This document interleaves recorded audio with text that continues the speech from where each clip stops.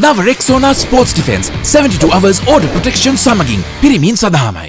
ජාතික ජනබලවේගේ බදුල්ල දිස්ත්‍රික් අපේක්ෂක සමන්ත විද්‍යාරත්න මහතාගේ ප්‍රධානත්වයෙන් අද පසරුවේ හාලියල ප්‍රදේශයේදී ජනහමුවක් පැවැත්වුණා. අපි දැන් මේ වැඩ ටික කරගෙන යනකොට ඔබ සන්තෝෂෙන් හිටියට විරුද්ධවාදීන් බියට පත් වෙලා අභූත චෝදනා නගමින් ඉන්නවා මේ වෙලාව. දැන් සමහරු කෑ ගහනවා ආ ජාතික ජනබලවේගය ගත්තානේ දැන් බිත්තරේ ගණන් වැඩි වුණා. දැන් මොකද කියන්නේ කියලා අහනවා. බිත්තරේ එකපාරට අඩු වුණා. දැන් බිත්තරේ ගාන වැඩි වුණා. ජාතික ජනබලවේගයේ වග කියන්න ඕනලු අනුර කුමාර වග කියන්න ඕනලු බිත්තර ගණන් වැඩි වෙලාලු. ඉතින් හත්වලාමි ජාතික ජනබලවේගයේ බිත්තර දාන්නේ මේ ආණ්ඩුව බිත්තර දාන්නද අපි? එහෙනම් දැනට ඔය බිත්තර දාන්නේ රනිල්ගේ ටිකිලියෝ සහ ගෝඨාභයගේ ටිකිලියෝ. අපේ ටිකිලියෝ තාම දීලා බිත්තර හදාගන්න වෙලාවක් ආවේ නැහැ. පොලිසි 50කට 100කට අදාළ ආයුධ ටික පොලිසි වලින් පිට හමුදා වලින් පිට හතට දීලා තියෙනවා නම් ආපහු ගන්න ඕනද නැද්ද? ගන්න ඕන. තුවක්කු පිස්තෝල කීයක් දීලා තියෙනවද? එයාලගේ ප්‍රභූවරුන්ට 1650 දානක් දීලා තියෙනවා පිටට. මහින්දගේ පුතා යෝෂිත ගාව තියෙනවා හතක්. ජෝස්ටන් ගාව තියෙනවා අටක්. නිස්සංග සේනාධිපති ඇවෙන්ගාඩ් ලොක්කට දීලා තියෙනවා නමයක්. මුන්ට මොකටද මේ හත අට නමය දෙන්නේ? අර මහා චණ්ඩියගේ කවුද? ජොනියා පැනලා. වයඹාරක්කු ලොක්ක පැනලා. බදු ගෙවන්න නැතුව පැනලා. එයාගේ හොර වාහනයකුත් අහුවෙලා. හැංගියන් හිටපන්ක කොහමද චණ්ඩියගේ දැන් වැඩ? චණ්ඩිය රිංගලන ගුලක. දැන් හොයනවා. ඔයාගත්ත ගමන් ගන්න.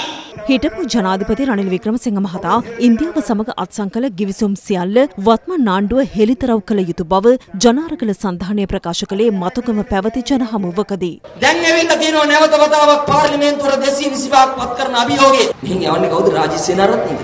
රෝහිත අබේගුණවර්ධන. විපක්ෂේ වාඩි කරන්න. ඒ මිනිස්සුන්ට හම්බෙච්ච පරාජය සහතිකය දීලා මේ මහමැතිවරණයේදී පරද්දපුන් නැවත නැවතත් පරාජය තමයි උරුම කියන එක සහතික කරලා ඉවර කරන්න ඕන. තවදුරටත් ජනවාදයට මුක්කු ගහන්න හදන පියානෝලගේ පාර යන්න හදන සජිත්ලගේ දේශපාලනයේ මරණ සහතිකය පහුගිය මැතිවරණයේදී මෙරටේ මිනිස්සු ලියන්න තීරණය කරා. එහෙනම් පෙට්ටියට ඇනේ ගහලා වලදාලා ඒ නරුම දේශපාලනය ඉවර කරන කතිර මේ පාර ගහමු කියලා කියනවා. වර්තමාන ආණ්ඩුව ක්‍රියාත්මක කරන්නේද හිටපු ජනාධිපති රනිල් වික්‍රමසිංහ මහතාගේ ප්‍රතිපත්ති බව සර්ව ජනබලයේ මහනුවර දිස්ත්‍රික් අපේක්ෂක දිලුම් අමනුගම මහතා පවසනවා. ඔහු මේ බව සඳහන් කළේ අද පසරුවේ පැවති ජනහමුවකට එක් වෙමින්. අද කාර්ය ප්‍රතිපත්ති මාලාවල ක්‍රියාත්මක වෙන්නේ. රනිල් වික්‍රමසිංහ මැතිතුමාගේ ප්‍රතිපත්ති මාලාව තමයි. මහ බැංකුව අධිපතිතුමාමයි මුදල් අමාත්‍ය ලේකම්තුමාමයි රනිල් වික්‍රමසිංහ මැතිතුමාගේ ජ්‍යෙෂ්ඨ උපදේශක දුමින්ද හුලංගම මගේ හොඳ මිත්‍රයා අනුර කුමාර සානායක මැතිතුමා උපදේශකතුමා මගේ අමාත්‍යංශ හිටපු ලේකම්මයි ඒකේ ඉන්නේ. අද ක්‍රියාත්මක වෙන්නේ රනිල් වික්‍රමසිංහ මැතිතුමා ක්‍රියාත්මක කරපු ප්‍රතිපත්තිමයි අර සිගිති ආතල් ටික අරනකොට. අර කොහේ හරි වාහනයක් ගෙනලා පෙන්නනවා. පරණ කබල් වාහනයක් ගෙනලා සප වාහනයක් කියලා පෙන්නනවා. මෙන්න මේ රඟපෑම ඇරුණුකොට අදත් ක්‍රියාත්මක වෙන රනිල් වික්‍රමසිංහ මැතිතුමා මේ අතර නව ප්‍රජාතන්ත්‍රවාදී පෙරමුණ පන්නල ඊරියකොළ ප්‍රදේශයේදී ජනහමුවක් සංවිධාන කර තිබුණා. රනිල් වික්‍රමසිංහ මහතා එතුමා ගිය මග තමයි මේ ආණ්ඩුවට යන්න වෙන්නේ යන්නේ. හැබැයි කියන්නේ යන්නේ නැහැ කියලා. යන්නේ නැහැ කියලා ඒ පාර යනවා. ඒ කියන්නේ එකපාරට දානවා වමට සිග්නල් එකක් දාලා දකුණට යනවා. හරි ෂෝ.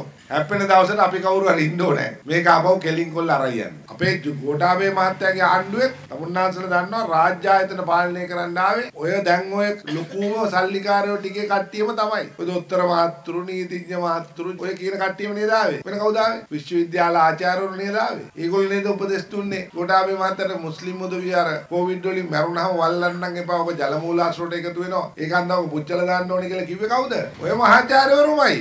ඒගොල්ලම තමයි මේ ආණ්ඩුව හැදුවෙත් ඒගොල්ලෝ තමයි එමේ ඉන්නේ. නම් මේක නිකන් අර ඔළුව මාරු වුණාට කඳ එකයි වගේ නේද මේ. මාරුනේ ඔළුව විතර.